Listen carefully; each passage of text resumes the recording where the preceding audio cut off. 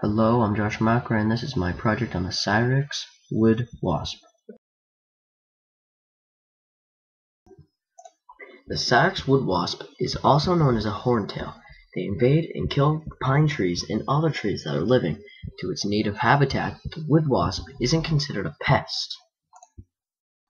From Eurasia, they shipped over a bunch of wood packing materials to southern Ontario in 2005, of which they didn't know that they were shipping the pest itself. After the incident in 2005, that was how the pest came introduced to southern Ontario. The Sirex wood wasp is native to all the places highlighted, as in Europe, Asia, and northern Africa.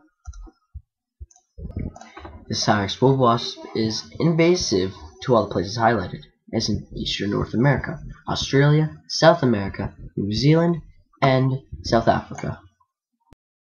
The known impacts that the pest has on its native ecosystem is that it kills trees, but though it kills trees, the Sirex wood wasp isn't considered pest in its native ecosystem.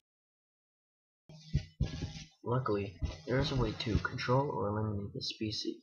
If a certified pesticide controller finds evidence that the species has attacked the tree, he or she would use a biological control agent called nematode to eliminate the pest. The pesticide controller would spray nematode into the hole in the tree that the horntail makes. The male dies instantly, but if the female is pregnant and it gets infected, it will lay infertile eggs filled with nematode instead of larvae that it lays. The female will die after the eggs are given.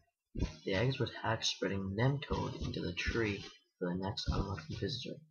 This method has dramatically reduced the population of the wood wasp.